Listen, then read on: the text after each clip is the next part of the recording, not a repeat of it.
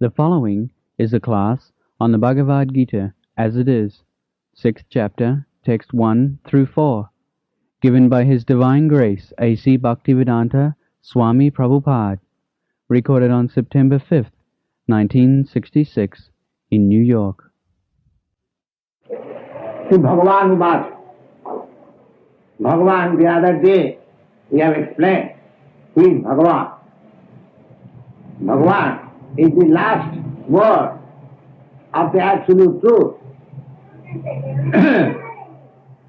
the absolute truth is realized in three phases. Impersonal Brahma, localized Paramatma Super Soul, and ultimately as the Supreme Personality of God. Ultimately, Bhagavan or the supreme absolute truth is first and secondarily is all pervading supersoul and the Brahma jyoti is all yes so here it is said Bhagavan was. Bhagavan mean the proprietor of everything and uh, all powerful, all, and he has got all the, all famous. Nobody can be more famous than God. And all beautiful and full of knowledge and full of renunciation. Ah, Full of opulence, at the same time full of renunciation. Here, in the material world, you find if a rich man has got great opulence, he is not liking to give it up. He is not like, he does not like to renounce but in the Supreme Personality of Godhead, you will find uh, full of all opulence, but at the same time full of renunciation. the six qualifications. Uh, proprietor of all opulence, all famous, all strength, all beauty, all knowledge, and all renunciation. Uh, in anywhere you find all these six qualifications in full. He is the Supreme Personality of God. so here it is said, see Bhagavan the Supreme Personality of Godhead is speaking. Uh, his speaking means he's speaking with all knowledge. His knowledge has no flaw. Our knowledge has many, so many flaws. We commit mistakes. We are illusioned. Sometimes we speak something and at our heart there is something else. That means we cheat. Ah. And our experience all imperfect because our senses are imperfect.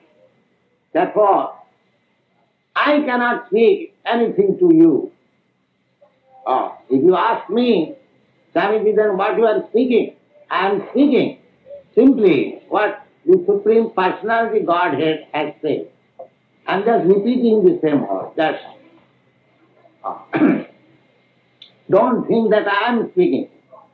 I am simply an instrument. Ah, real speaker is the Supreme Personality of Godhead who is without and within. So what does he say? He says, अनाश्रितम अनाश्रित कर्म फलम कार्यम कर्म करो तुझा सा संन्यासी चाह जोगी चा, ना निरग्नि, न क्या क्रिया। अनाश्रित अनाश्रित में विदाउट एनी सेंटर कर्म फलम every one is working expecting some razor whatever you do what you expect some result yes Bhagavan says, the Supreme Personality Godhead says that anyone who works without any shelter of the result, he works. Then, if he does not expect any result, then why does he work?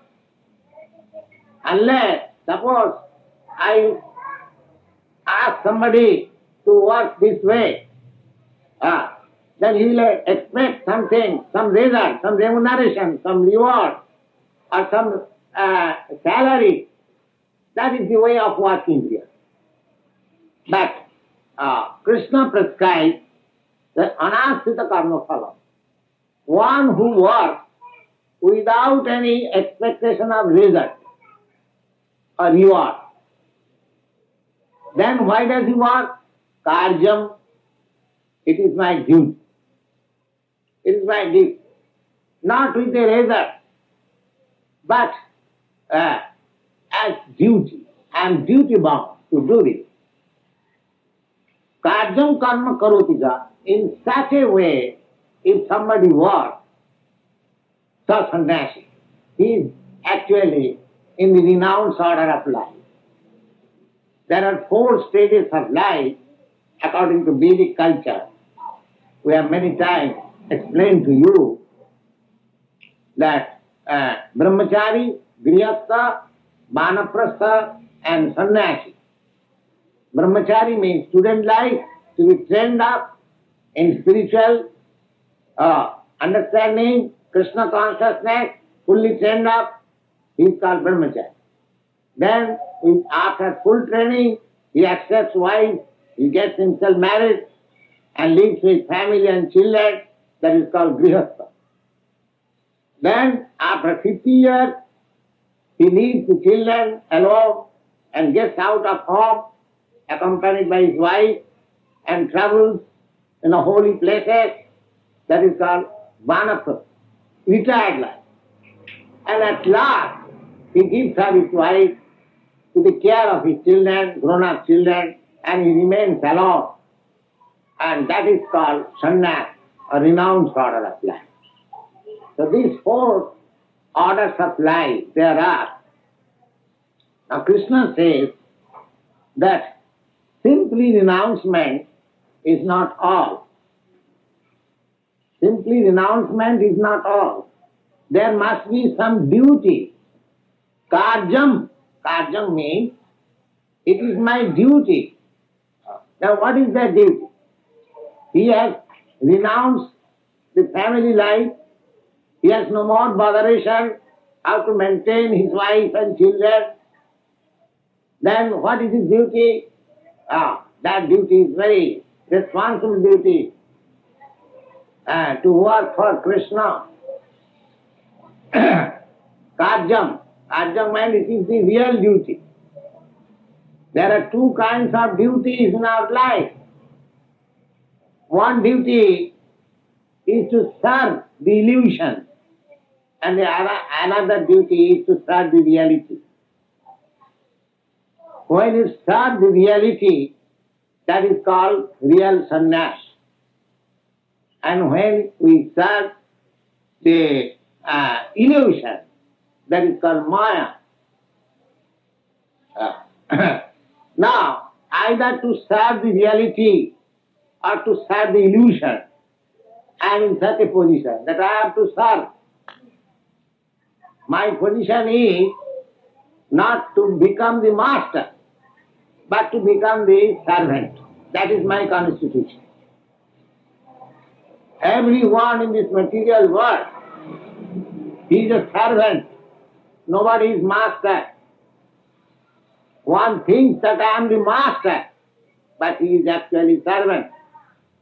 Suppose if you have got your family, if you are thinking that you are the master of your wife, of your children, of your servant, of your business, uh, that is false. You are the servant of your wife, you are the servant of your children, you are the servant of your servants. That is your real position. Ah. Any case you take, the president, he is considered to be the master of your country, but actually he is the servant of your. So if you go on analyzing that our position is always servant. So either we shall become the servant of illusion or we shall have to become the servant of God. Uh, but if we remain the servant of illusion, then our life is wasted.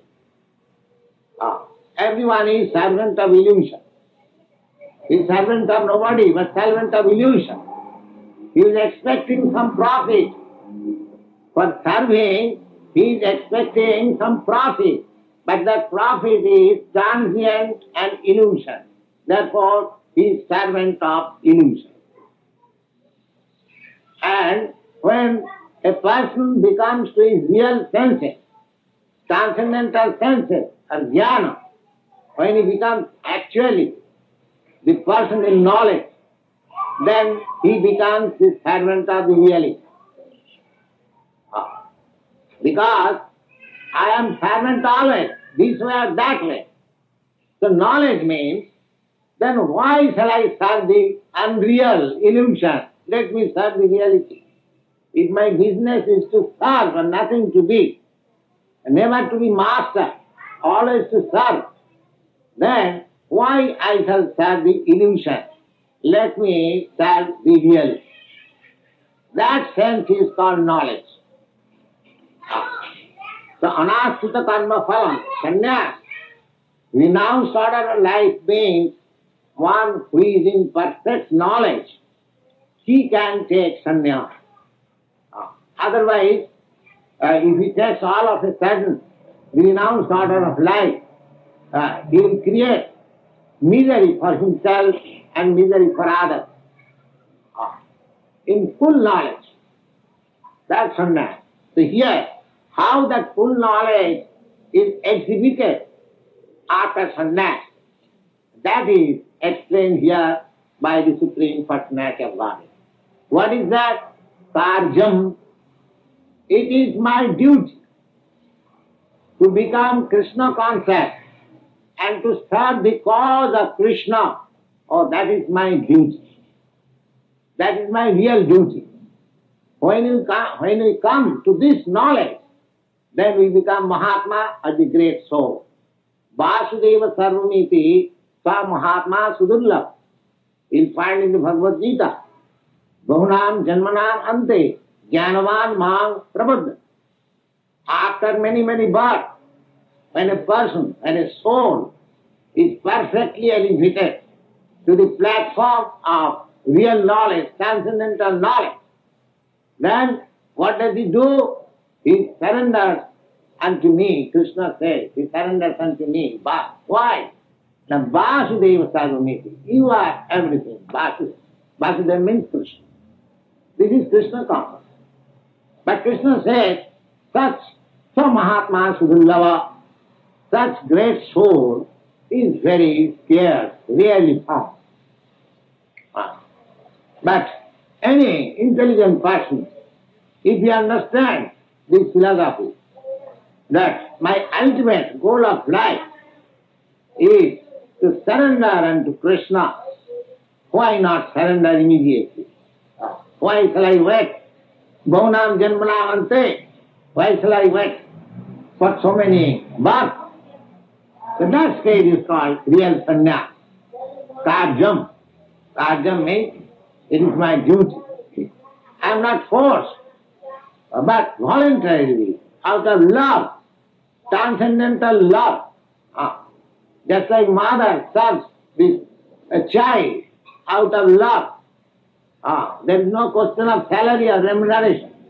The mother loves his child similarly. You can love the Supreme Lord in many ways. You can love the Supreme Lord as master. You can love the Supreme Lord as friend. You can love the Supreme Lord as child. You can love the Supreme Lord as your husband. Anyway, there, there are five different rasas or humor in which we are eternally related with the Supreme Law. And when we are actually in the liberated stage of our knowledge, we can understand that our relationship with the Lord is in this way. Ah, that is called Sarup Siddhi. Ah, that is real self-realization. That is real self-realization. Everyone has an eternal relationship with the Lord, either in the conception of uh, master and servant, or in the conception of friend and friend, or in the conception of uh, parents and the child, or in the conception of husband and wife, or in the conception of paramour and lover and, and beloved. Oh. So, these relationships are they are eternal. Now, the whole process of spiritual realization is to come to this stage, transcendental stage. This relationship with the Supreme Lord is pervertedly reflected in this material world. And therefore, we have got this relationship here, master and servant. But because it is perverted, therefore that relationship is not master and servant. That relationship is with the uh, money and the benefits. There is no love. There is no love. Here in this material world, the master and the servant, uh, that relationship continues so long the master is able to pay the servant. As soon as the payment is stopped, the relationship of master and servant also stops. Therefore, that is not eternal. Ah, come on, sit down. That is not eternal. Similarly, uh, here also there is relationship between friend and friend. But in slight difference of opinion, the friendship breaks. Ah, the friend becomes enemy. Therefore, it is perverted reflection. Similarly, the relationship between, ah, come on here, uh, relationship between mother and son, a slight difference of opinion breaks the relationship and the son becomes out of the ah, relationship of mother, mother becomes out of the Everywhere, husband and wife, uh, a slight difference of opinion, there is divorce, separation. So no relationship here in this material world is actual. Always remember that all relationship in this material world is perverted reflection of that relationship which we have got eternally with the Supreme Personality of God. Uh, it is simply reflected, just like the sunshine. And sunshine is reflected in the glass, and that reflection comes here. Oh, oh, I, in my apartment, at six o'clock, the sunshine comes from the uh, western side, uh, eastern side. So in the evening, the sunshine cannot come from the eastern side. The sunshine comes from the western side. But it is coming because it is reflected through a glass in the opposite house. This is the idea of reflected. That reflection of the sunshine is not real. But it appears just like sunshine.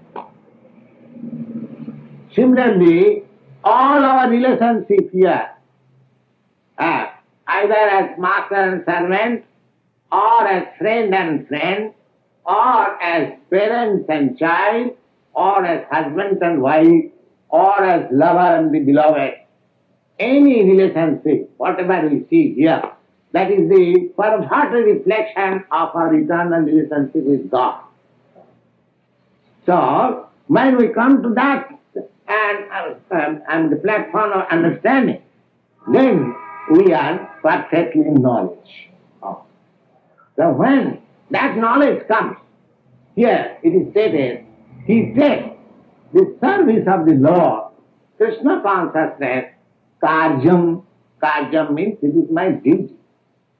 Because I have got my eternal love relationship with Krishna. There is no question of remuneration. Of course, remuneration is there thousand times more than uh, what remuneration we get here by rendering our service. Krishna,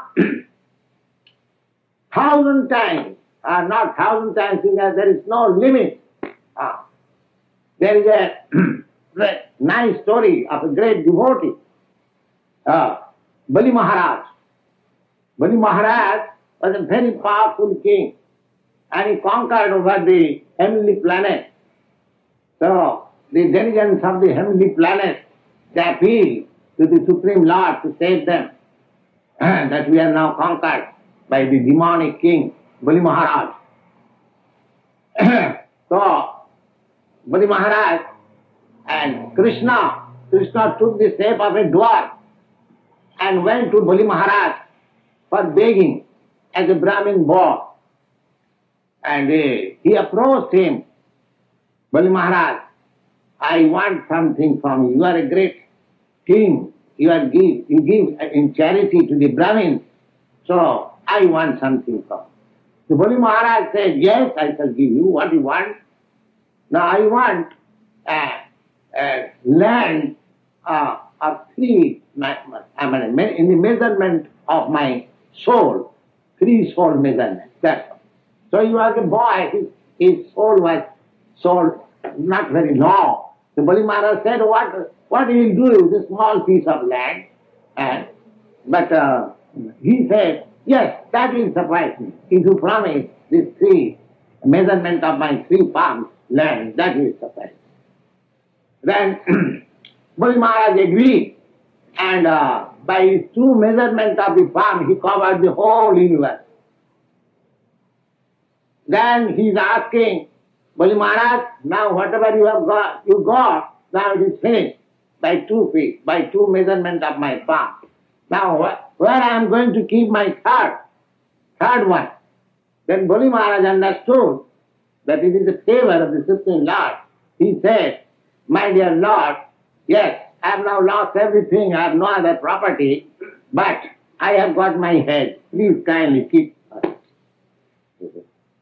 So the Lord was very much pleased on him and he offered, Bali Maharaj, then what do you want from me? Uh, no, I never expected anything from you. I could understand. He wanted from me uh, everything. So I have offered me everything that is finished. I don't want. Then Lord says, yes, but from my side, I have done something to offer you. And I shall remain as your order carrier servant in your door. Uh, so he remained always, just like we are sitting here. There may be some doorman. He, uh, Lord became his doorman. So that is the return. If we offer something to Lord, uh, that is rewarded in many millions of times. Uh, so we should not expect. The Lord is always uh, serious to return the service of the servant, of his devotee. Uh, so there are many devotees. This devotee, Bali Maharaj, is uh, surrendered everything for the service of the Lord. Uh, so he became a famous uh, king. Sarvatma Sapane Abhavad Bali So now, anyone who thinks that service of Krishna or service of the Lord is my duty, duty, he is a, he is the man in perfect knowledge. So sannyasi. So sannyasi is yogi and is actually yogi. Uh, we have heard the names of uh, so many yogis, but here Krishna says in the Bhagavad Gita, he is actual yogi, uh, who, who has surrendered himself fully unto me and he is engaged in my service as a matter of duty. That's sannyasi sa yogi na niragni na ka kriya, na niragni. Niragni means uh, those who have left home uh, in the in the uh, Dharma, uh, one who is a householder, he has to perform daily yoga. So there is fire. Fire. It, still you find uh, the, the Parsis, are fire worshipper. So this fire worship is recommended in Vedic literature. So grihasthas or the householders, they are expected to offer, uh, uh, I mean, say, sacrifice in the fire daily. जब संन्यासमिति प्राहु जोगं तद विधि पांडव न जसंगस्त संकल्प योगी भवती कर्तव्य is very important point जन संन्यासमिति प्राहु Lord Sri Krishna instructs Arjuna that whatever is known as sannyas, renounced order of life, that is also yoga. yoga system and sannyas, is, there is no difference. Ah, because everything on the yoga system, this Bhagavad Gita is also known as yoga system. You will find here three kinds of yoga. Karma yoga, jnana yoga and bhakti yoga. So, just like uh, you have got a staircase uh, to rise up to the fifth or sixth or tenth floor or, uh, or more than that, the whole staircase or the lift service is called yoga. Now, somebody may be in the uh, fifth floor, somebody may be in the tenth floor, somebody may be on the fiftieth floor, oh, but the same lift service is going. We take the lift service as the yoga uh, connection within the highest uh, uh, story to the down. Uh, anyone who has uh, elevated himself to a certain platform, some, someone is called Karma Yogi, someone is called Jnana Yogi, someone is called Dhyana Yogi, someone is called Bhakti Yogi. So there are different kinds of yoga in this conception. Otherwise, the, the lip service, yoga service is the same.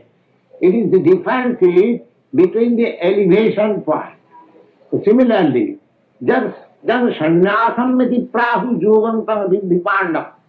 Oh Arjun, Pandava means the son of Pandu, Arjun. You can understand that what is sannyas and what is yoga, they are the same principle.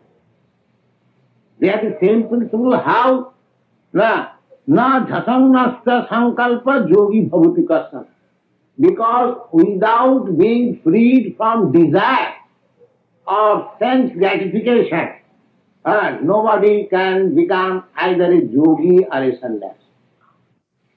Everyone is trying to have some profit out of his activity. There are many uh, yogis, uh, they perform yoga system or teach yoga system for some profit. But that is not the idea of yoga system.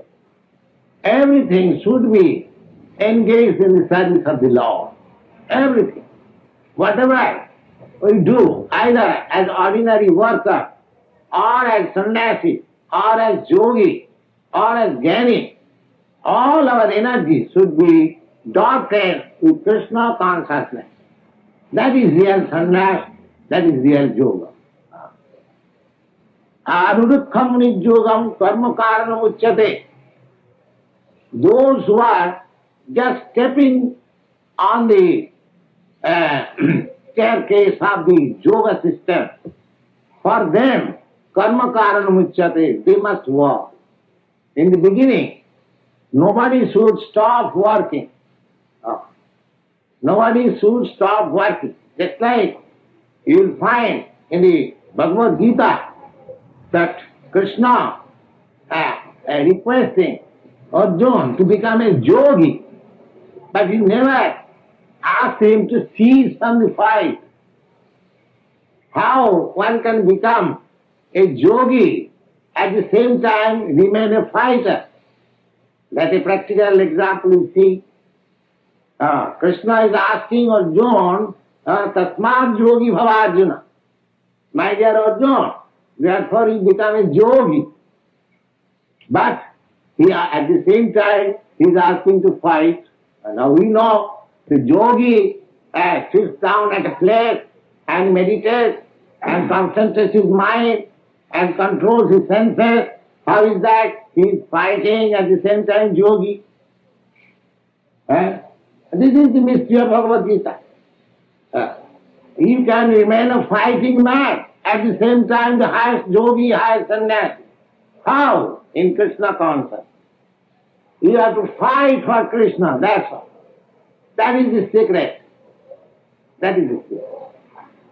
If you fight for Krishna, if you fight for work, uh, fight for work for Krishna, uh, if you eat for Krishna, if you sleep for Krishna, if you do everything for Krishna, then you are the yogi, you are the sannyasi, and you are everything.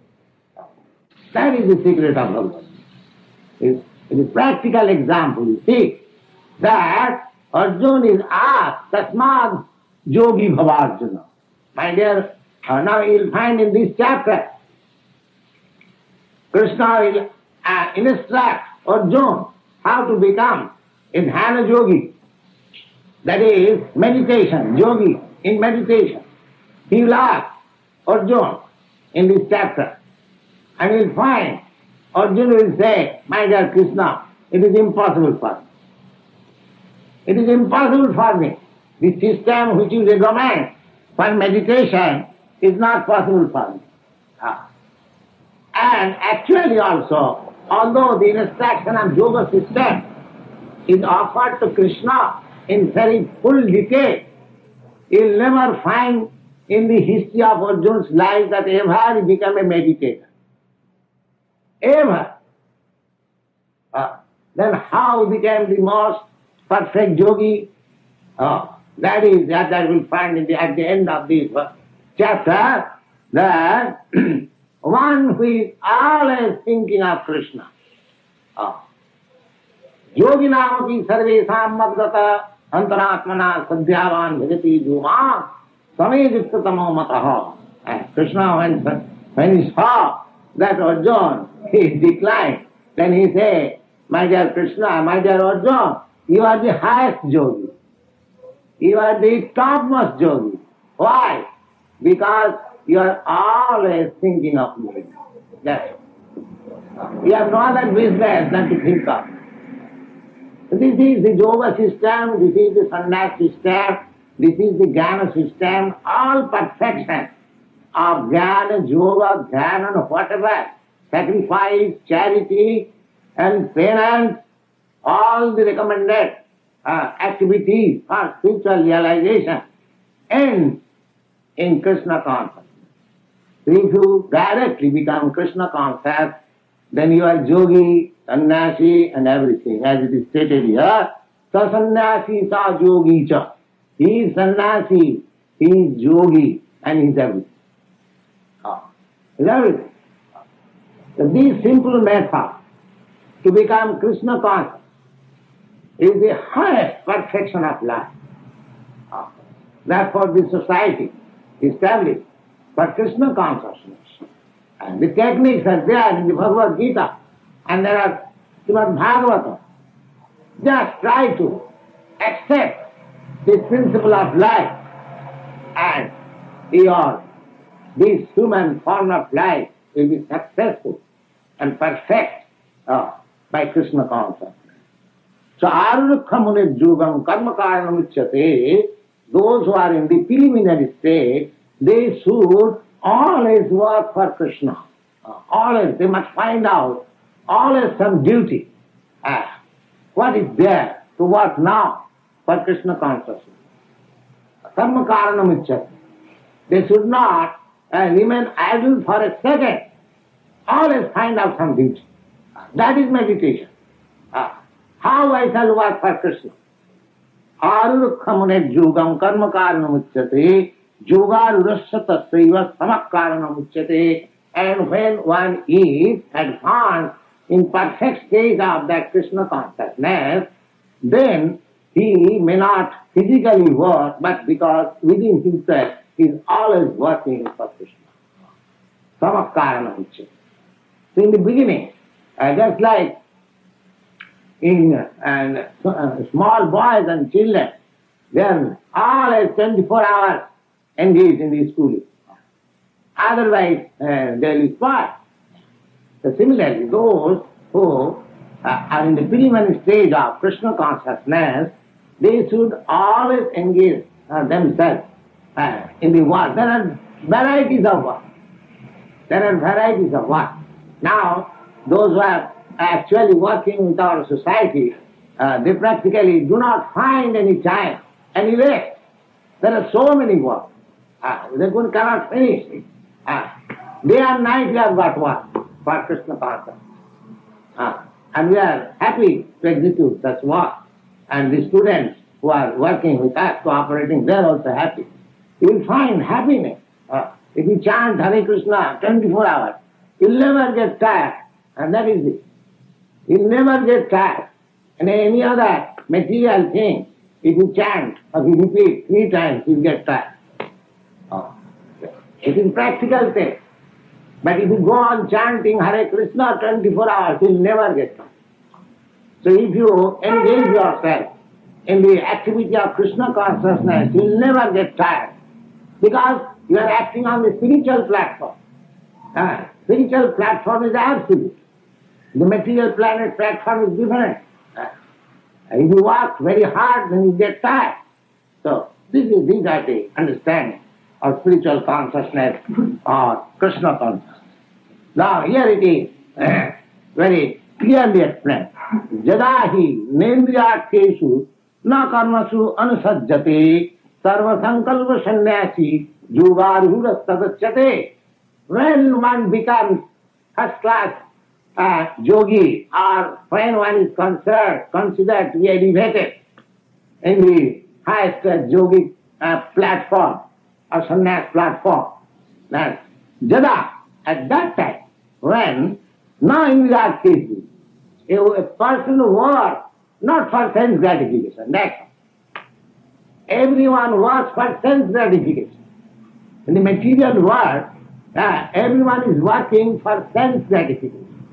Ah, they, everyone works here to get some reward, some remuneration for wages, and that is utilized for sense gratification. Now here it is saying, yoga ruler. When one is perfect yogi, ah, that is explained here, that jadahi na indriyathesu, when one does not work for sense gratification, na karmasu sajjate, he does not engage himself in the work simply for sense gratification. Oh. And sarva sankalpa sannyasi, and he has no desire to get any fruit. Because his desire in Krishna is already there.